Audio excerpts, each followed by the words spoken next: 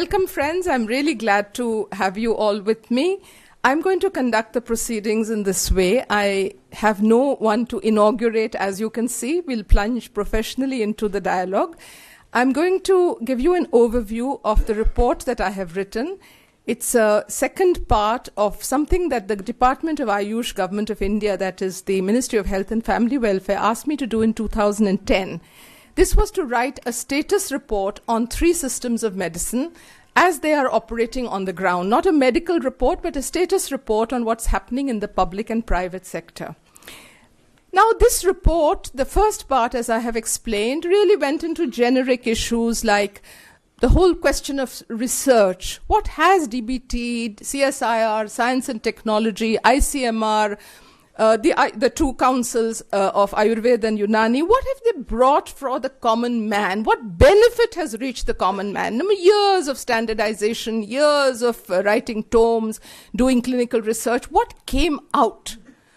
I gave my report. I'm not going to get into that because the discussion is not on that. You're welcome to read it. I've given you the links. There had a, practi- had uh, had a chapter on education. What is the standard of the curriculum, the syllabus? How far are these uh, students going to come out and become proper doctors as planned, or are they going to just become fish and fowl, both mixed? What's going to happen? Then the whole question of research, I mean, education, research, practice, medicinal plants. 90% of the drugs are made of medicinal plants. Are there plants available? What is the quality of those plants? I'm really sorry. There's so many people. Would you like to come and sit here? If it's not, uh, uh I mean, all the Ayurvedic people know how to sit like that. Can, can there's plenty of space here? It'd be awful if all of you walk out because you're too tired to listen. Please, please come here. I'd never expected such a big gathering. I think the colleges have sent postgraduate students. I'm very grateful, but I wasn't expecting that.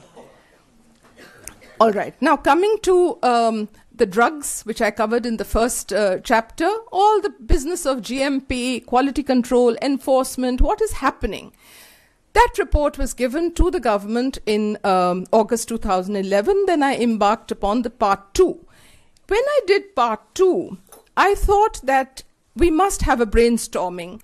And the brainstorming was organized by Professor Shakir Jamil in the Central Council. The Ayurveda Council was there. We got people from different, uh, I would say, backgrounds private practitioners, research people, all of the fraternity of Ayurveda and Unani.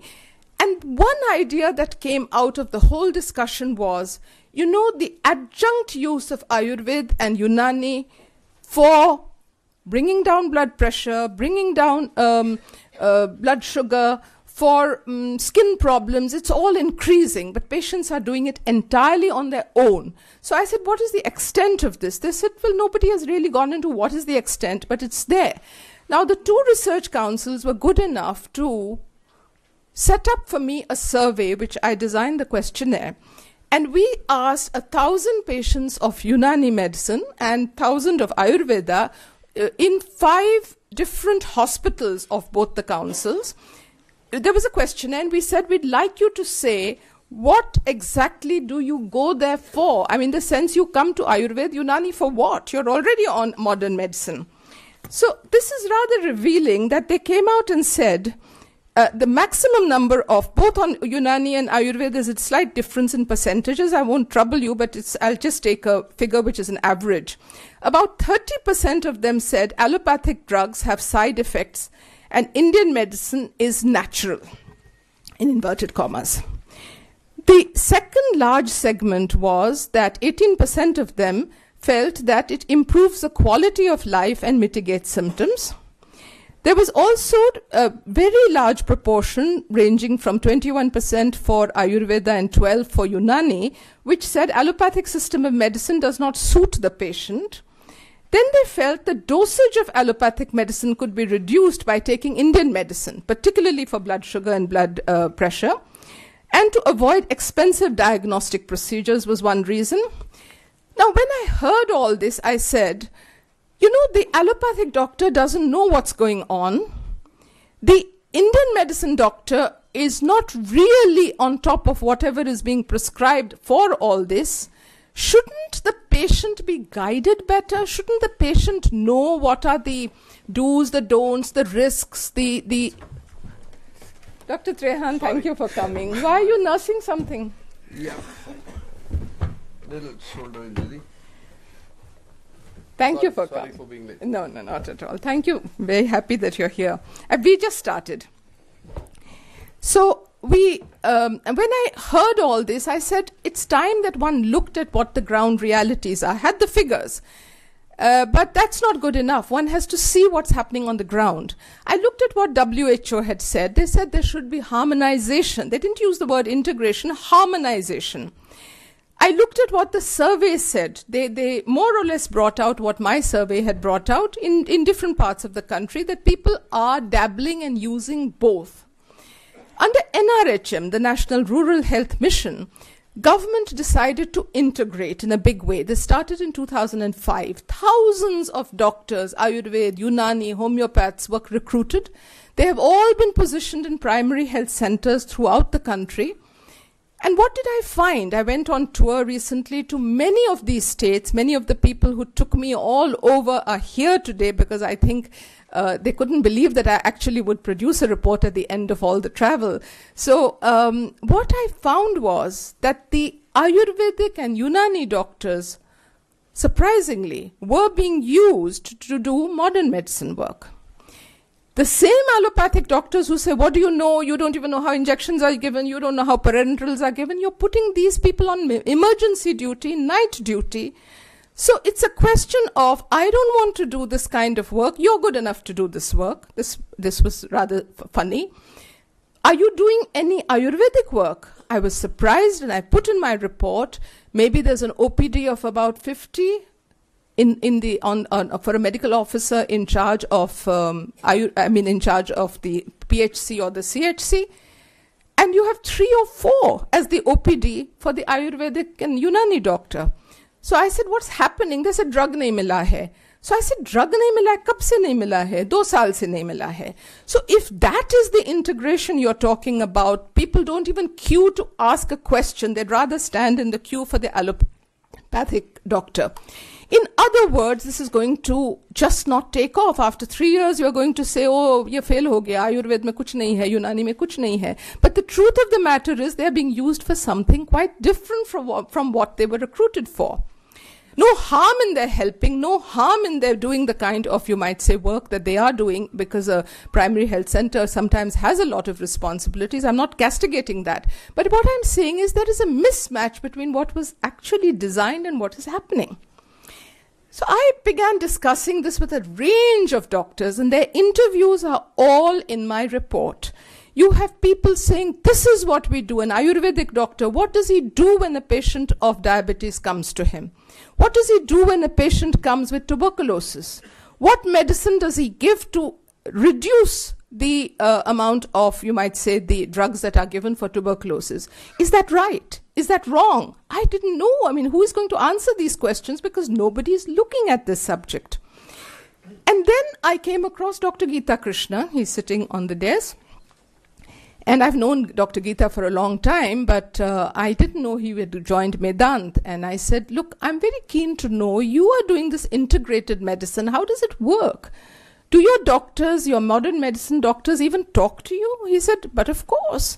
So I said, no, but when I went to the health, um, uh, you might say, secretaries of different state governments, people who are IAS officers, people of my tribe, I mean, in a way, ex tribe, I'm not an IAS officer now, but I mean, I know them all. So when I asked them, I said, please call your director health services, your director medical education. I want to talk to them about this issue of integration. The attitude was when the meeting was held, which all of them held these meetings, I have photographs of the meetings the minute I talked of integration, the reaction I got from the DHS or the Director Medical Education was, इन्होंने क्या काम कभी किया है कभी कोई paper publish किया है क्या आता है इन लोगों को इनको तो इंजेक्शन तक नहीं देने दे दे दे published anything they just make claims this is all you know spoil करते केसेस को फिर हमारे पास भेजते हैं this was the reaction I got from almost all the hierarchy of medical people. The health secretary, like all health secretaries, I have been one also. You don't want to rock the boat. You don't want to take sides. You don't, you got many more things to do than to start taking sides. So you just finish the meeting and say, well, let work go on as it has been going on all these years. We come out in the corridor and the Ayurvedic fellows say to me, they come, madam, हमारी तो बात भी नहीं सुनी हमारी तो बात हमको जो कहनी थी उन हमसे तो पूछा तक नहीं this was the reaction. So I felt really, I mean, what are we doing at the end of the day? Isn't something the patient and the patient's benefit? Is, isn't that what we should be looking at? Should we be looking at Ayurveda, Unani versus allopathy? Should we be looking at you are up here, those people are down there. So when I met Dr. Geeta and he said, We have integrated it and you must come and see at Medanta what we're doing. I said, Doctor, are you sure you've integrated it? How did you talk to these people? He says, No, no, they're, they're, they're all uh, working and we, we are doing the patients together. He gave me a big interview, which I have published in the report. How did they break the mindsets of doctors? Were their mindsets in the first place? And then finally, I realized that there was somebody behind this whole movement. Dr. Trehan has been, I think, judged by India Today as among the 50 most powerful people in the country. But he was the power behind this movement of integration. I could not believe it. I said, This is, I've known Dr. Trehan when he was in escorts. I said, He's a completely a hard boiled cardiothoracic surgeon. What is he doing dabbling in all this uh, Ayurveda business? I couldn't believe it. So Dr. Geeta said, No, madam, he's the one who said, but he never forces anyone. He never tells anybody this is to be done. If the patient wants it, if the patient uh, would like to have it, they have integrated in a different way. They give the patient the choice of talking to both. So my doubts of, you know, that doctor told me to do this, but the allopathic fellow is saying, don't do this, don't do this. Who do I talk to now? Do I talk to some third person? Do I go to a homeopath and leave these two alone? What do I do? Those are the things that they've been able to get over.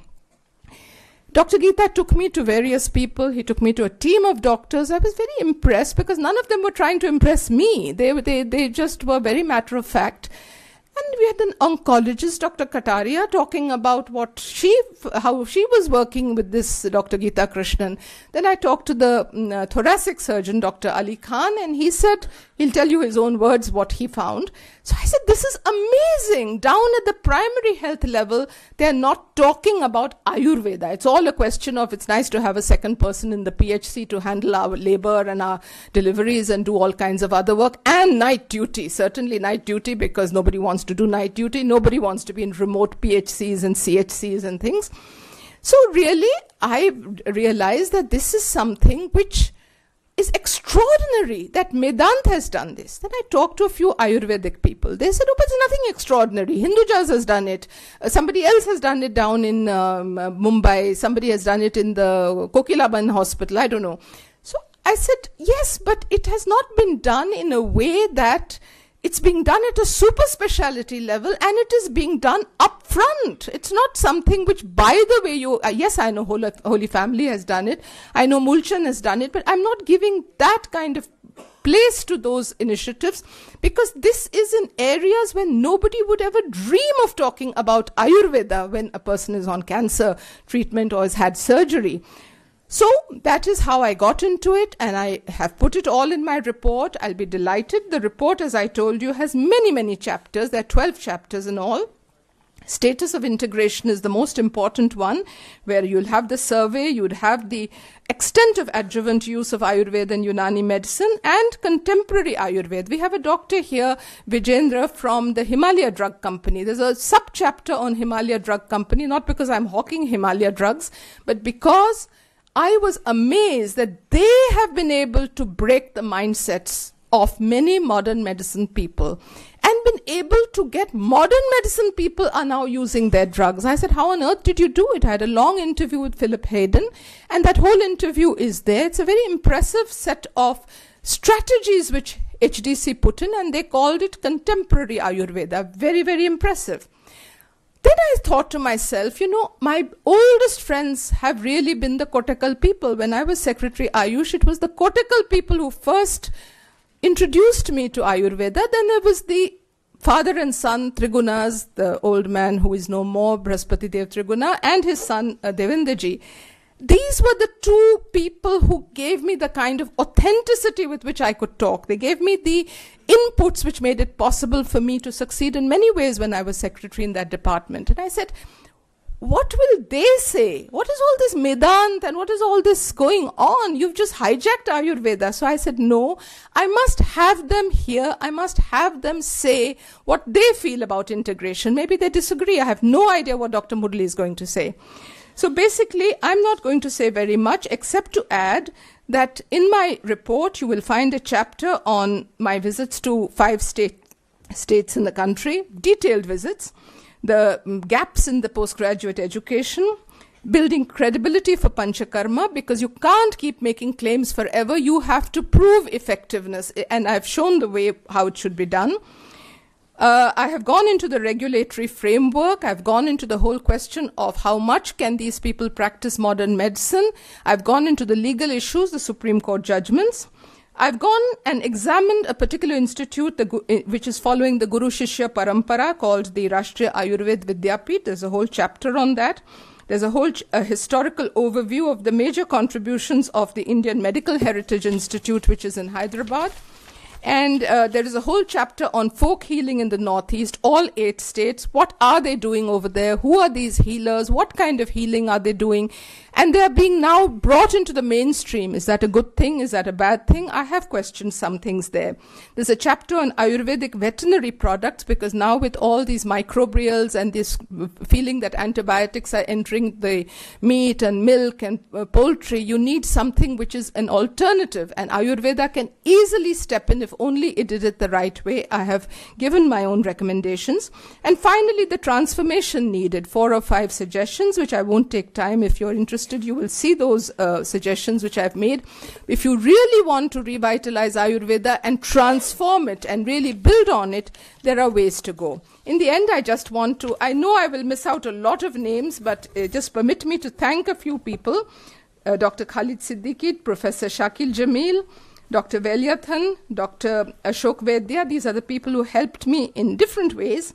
The Himalaya Drug Company, the Dr. Narayana, who is not here, that is DB Nar- Ananta Narayana, Dr. R.H. Singh, who is not here, Madhulika Banerjee, who is from the Delhi University and has done a lot of work in Ayurveda from a political scientist point of view, Dr. Ritupriya from JNU, who has helped me to get to the bottom of this NRHM business because she had done a very extensive survey of the whole country. Dr. Ajay Kumar from the uh, National Institute of Ayurveda, who actually gave me four of his uh, professors to go and visit state pharmacies to say why are the state pharmacies not working.